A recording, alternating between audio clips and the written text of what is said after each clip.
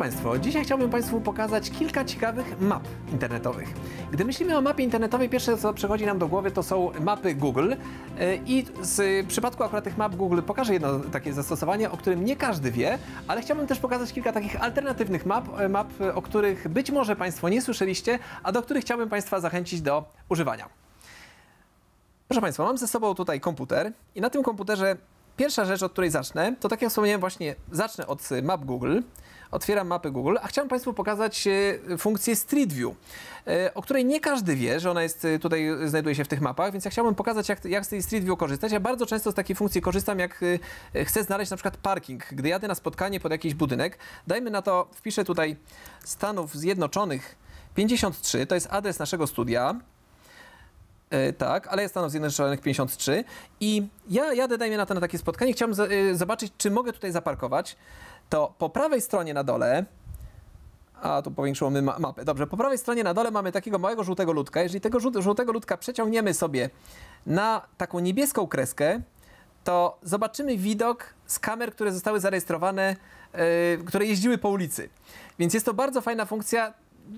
Podejrzewam, że większość z Państwa akurat ten Street View zna, ale chciałem to pokazać na sam początek, na rozgrzewkę, e, bo jest to taka funkcja, z której nie każdy korzysta i nie każdy akurat e, wie, gdzie ona jest dokładnie ukryta. E, pamiętajcie o tym żółtym ludku, który, który pozwala chodzić po ulicach i obserwować, jak wygląda sytuacja, chociażby na przykład właśnie z parkingiem. Ale druga opcja, którą chciałem teraz pokazać, druga mapa. Bardzo często mamy taki problem, że my często umawiamy się z kimś na, na spotkanie i ktoś nam podaje adres y, budynku, sprawdzamy sobie ten, ten adres budynku e, w mapach Google. Okazuje się, że to jest wielki budynek, nie wiadomo y, gdzie jest wejście do tego budynku, czy pod którym wejściem chcemy się spotkać. Albo na przykład umawiamy się z kimś, e, dajmy na to pod Pałacem Kultury i też spotkajmy się pod Pałacem Kultury z praktycznie żadną informacją.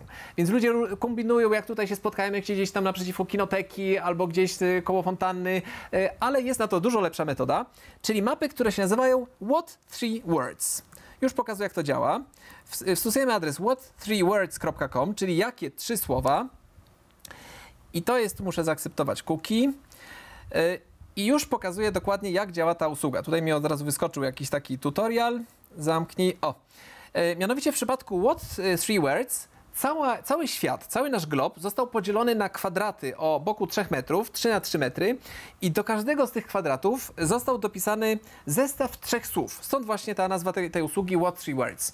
E, tak jak tutaj widzimy akurat e, przy jakiejś ulicy Wałowej, ten kwadrat e, ma przypisane słowy kozło, siodło, zagadka. E, ponownie, a tutaj mogę po lewej wpisać dowolny adres, e, na przykład znowu Stanów Zjednoczonych 53, tak jak wcześniej i to jest nasz budynek. Ja bym chciał y, komuś, na przykład kurierowi, zamawiając paczkę albo zamawiam sobie coś do jedzenia i y, osoba, przy, która przychodzi do, do, mnie z tym jedzeniem, nie wie, gdzie dokładnie jest wejście do naszego budynku, a nasze wejście do budynku jest dokładnie w tym miejscu. Więc ja klikam sobie w ten adres i adres tego kwadratu to jest obejść ciecz rdzeń. Y, ten adres mogę oczywiście udostępnić. Ja kliknę udostępnij. Mam tutaj y, krótki link, który mogę sobie skopiować. Czy jak skopiuję ten adres i teraz wyślę go dowolnym komunikatorem czy SMS-em, czyli w3wco łamane przez obejść.ciecz.rdzeń, to po kliknięciu, po otwarciu tego linka otwiera nam się dokładnie ten kwadrat, który, y, który ja wybrałem. Y, jest to o tyle fajna rzecz, że ponieważ mamy te trzy słowa, które, które definiują nam cały świat, ja tu mogę dowolny adres, na przykład moja działka rekreacyjna, którą mam y, niedaleko Warki, tam w ogóle nie ma żadnych adresów, więc ja ostatnio chciałem znajomej podać adres do tej działki, jak tam trafić. Nie wiedziałem jak podać ten adres, ale przypomniałem sobie właśnie o tej usłudze e, What Three Words, wysłałem jej E, adres właśnie przy, przy pomocy tej usługi Watch Words e, na telefon, dzięki czemu ona po prostu mogła dokładnie trafić e, dokładnie do tego mojego budynku, który nie miał kompletnie żadnego adresu. Więc zachęcam do tego, żebyście Państwo wypróbowali ten Watch Words, ponieważ jest to zupełnie innowacyjna metoda nadawania adresów. Tak jak zresztą twórcy tej usługi twierdzą, że standardowe adresy, gdy mamy miasto, ulicę, numer budynku, ewentualnie numer klatki, to już jest takie staromodne, taki stary sposób y, y, definiowania współrzędnych, a tymczasem przy pomocy What Three Words y, możemy dowolny adres przy pomocy tych trzech słów, które jeszcze, co istotne, możemy przedyktować przez telefon. Czyli jeżeli z kimś rozmawiamy przez telefon, to nie musimy wysyłać tego linka, tylko mówimy użyj usługi What Three Words i wpisz adres obejść ciecz, rdzeń. E, Tutaj czasami te słowa są dość skomplikowane, więc ja czasem e, szukam takiego kwadratu tuż obok, żeby był troszkę łatwiejszy. E, O na przykład budzik.legalne.jadalnia. I to już jest dużo, dużo łatwiej też przedyktować przez telefon. Budzik legalne jadalnia to jest dosłownie tam te 3 metry dalej niż, niż chciałem zdefiniować ten kwadrat. Bardzo fajna usługa, dostępna również na smartfonach, więc jest aplikacja What na smartfonach. Można takie, takie koordynaty tego What wysłać do dowolnej osoby przez internet, przez dowolny komunikator, nie wiem, messengerem, SMS-em i po otwarciu na telefonie takiego linka e, i gdy ustawimy nawigację, e, wówczas nasz telefon e, pyta, jakiej aplikacji do nawigacji chcemy wykorzystywać. Jeżeli mamy na przykład Google Maps zainstalowany, wówczas te koordynaty zostaną przeniesione do Google Maps i Google Maps będzie już nas prowadził pod konkretny adres. Więc to jest pierwsza usługa, którą chciałem pokazać. Druga usługa, bardzo ciekawa, to jest usługa, która się nazywa Plugshare. Ja o tej usłudze już wspominałem kil, kilka razy w moim programie, ale chciałbym ją pokazać, bo dotychczas tylko opowiadałem o Plugshare, a nie pokazywałem dokładnie e, na czym to polega. E, Plugshare jest mapą ładowarek dla samochodów elektrycznych. Bardzo wielu właścicieli samochodów elektrycznych, zwłaszcza takich nowo upieczonych właścicieli samochodów elektrycznych, nie wie dokładnie, gdzie się może podłączyć, gdzie szukać takich ładowarek, ponieważ w tradycyjnych mapach, na przykład właśnie w wspomnianym Google Maps, nie ma tych adresów ładowarek, a PlugShare jest właśnie taką mapą, na którą naniesiono wszystkie ładowarki. I tutaj możemy sobie zobaczyć dokładnie, jak wygląda y, sytuacja z ładowarkami w Warszawie. Jak widać, tych ładowarek tutaj jest y, mnóstwo.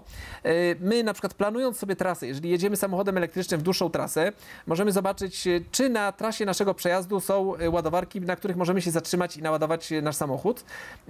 PlugShare tak samo jest dostępny w postaci aplikacji na smartfony. Jeżeli mamy samochód elektryczny albo jeżeli przymierzamy się do zakupu samochodu elektrycznego, zachęcam, żeby taką aplikację zainstalować właśnie PlugShare na telefonie. Ona jest też o tyle istotna, że wokół tych samochodów elektrycznych jest teraz taka społeczność użytkowników, którzy y, korzystają z tej aplikacji PlugShare i jeżeli przyjeżdżają do ładowarki, to w aplikacji PlugShare meldują się na tej ładowarce, że właśnie ładują samochód, że zajęli złącze ładowania i że będą na przykład tam jeszcze przez 30 czy 45 minut. Dzięki temu my możemy uruchomić ten PlugShare na telefonie y, i zobaczyć, czy akurat na tej ładowarce jakiś użytkownik w tym momencie się nie ładuje, bo wtedy możemy po prostu zmienić y, naszą, ła- y, naszą ładowarkę, czy pojechać do innej ładowarki, na której się nikt nie ładuje i z której nikt y, w tym momencie y, nie korzysta.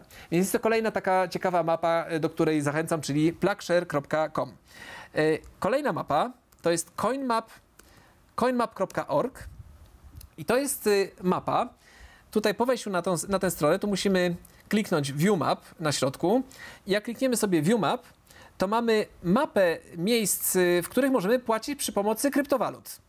E, Czekam aż się tutaj ta mapa załaduje. E, Aha, bo mi tutaj strzeliło w Gdańsk teraz, to ja tutaj muszę sobie wrócić do Warszawy, ale nawet w Gdańsku tutaj widzimy, że mamy 17 miejsc. E, Ja szukam sobie tutaj, e, gdzie mam Warszawę. Jeszcze Ostrołęka, Warsaw, mam Warsaw. Tutaj nawet y, takie mamy mapę, mapę cieplną takich miejsc, gdzie możemy płacić kryptowalutami. Mamy 47 miejsc, czyli jeżeli na przykład mamy bitcoiny, kupujemy te bitcoiny, chcielibyśmy te bitcoiny jakoś spożytkować, e, Wówczas możemy również e, korzystać z tej aplikacji e, czy z tej mapy coinmap.org e, i tutaj możemy znajdywać miejsca, na których możemy płacić kryptowalutami. To są bardzo często kawiarnie, to są jakieś restauracje, w których możemy sobie hamburgera zjeść płacąc kryptowalutami. Bardzo jest wiele takich usług internetowych typu usługi SEO, za które możemy, możemy również zapłacić kryptowalutami i tych usług możemy również szukać przy pomocy mapy coinmap.org. Kolejna usługa nazywa się Glimpse. I Glimpse, ja tu akurat napiszę, y, ponieważ akurat na y, komputerze to Glimpse y, otwiera się tylko strona tej usługi, więc pokażę jak to wygląda. To jest Glimpse. To jest usługa, która pozwala udostępniać naszą lokalizację naszym znajomym. Działa to w ten sposób, że ja tutaj akurat na telefonie nawet uruchomię tego Glimpsa. E, Instalujemy aplikację Glimpse na naszym telefonie. Tak, ja mam teraz tego, tego Glimpse tutaj zainstalowanego i może spróbuję to jakoś pokazać tutaj do kamery. Otworzę akurat, korzystając z tego, że mam e, teraz folda. E, tutaj mamy tego, tego glimpsa i mam opcję, która się nazywa Share Location. Ja po wybraniu Share Location e, klikam Copy to Clipboard, wybieram jak długo chcę dzielić swoją lokalizację, na przykład przez godzinę i wysyłam do Clipboard, albo mogę wysłać na przykład komunikatorem moją lokalizację. E, To też będzie specjalny link i ten link e, po wysłaniu do e, dowolnej osoby, albo messengerem, albo właśnie jakimś innym dowolnym komunikatorem, czy, czy mailem, czy SMS-em, taka osoba po otwarciu tego tego linka, e, już otworzy się również mapa, albo mapa w takiej wersji komputerowej, czyli na komputerze się otworzy ten e, Glimpse, albo e, na telefonie będziemy mieli tego, tego Glimpse'a. Też warto zainstalować aplikację właśnie Glimpse na e, smartfonie E, i na żywo możemy śledzić, gdzie dana osoba się znajduje. Czyli jeżeli na przykład e, wracamy do domu i chcemy dać znać naszej żonie albo naszemu mężowi, gdzie dokładnie się znajdujemy, albo na przykład nasze dzieci wracają ze szkoły, najlepiej, żeby zainstalowały tę aplikację Glimpse i mogą udostępniać swoją lokalizację. E, Ten Glimpse jest tutaj również e, w takich zastosowaniach komercyjnych stosowany do tego, żeby e, współdzielić na przykład lokalizację kurierów albo środków e, lokomocji.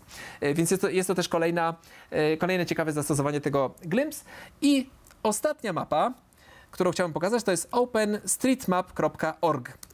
OpenStreetMap.org jest taką mapą trochę jak Google Maps, ale to jest mapa, która jest tworzona przez użytkowników, czyli nie, nie, nie, nie powstaje yy, przez jakąś, nie jest stworzona przez jakąś zamkniętą yy, firmę czy przez, yy, przez jakąś organizację, tylko każdy może założyć sobie tutaj yy, konto yy, i zmieniać tą mapę. W efekcie yy, ten OpenStreetMap.org jest pod bardzo wieloma względami dużo bardziej aktualny niż mapy Google. Jeżeli mieszkamy gdzieś na jakiejś wsi, mamy jakieś małe uliczki, możemy te uliczki sprawdzić na tej yy, mapie OpenStreetMap.org, a jeżeli się nie zgadzają, możemy zgłosić, że tam jest po prostu jakiś błąd. Więc też zachęcam do skorzystania z tej mapy.